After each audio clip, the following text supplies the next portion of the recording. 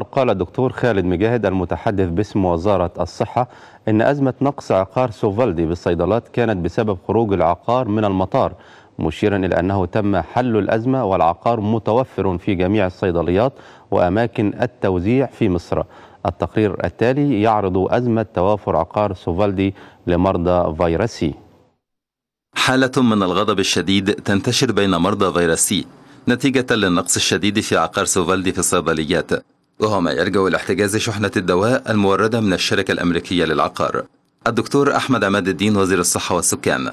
عقد اجتماعا طارئا للوقوف على أسباب الأزمة والتوصل إلى حل لها حيث أعلن الدكتور وحيد دوس رئيس اللجنة القومية لمكافحة الفيروسات الكبدية أنه تم حل مشكلة اختفاء السوفالدي بعد توفير البنك المركزي لأربعة ملايين دولار للإفراج الجمركي عن الشحنات البالغ عددها 16500 عبوة كما استطاع البنك توفير المبلغ المطلوب لاستيراد 25 ألف جرعة خلال الأيام المقبلة.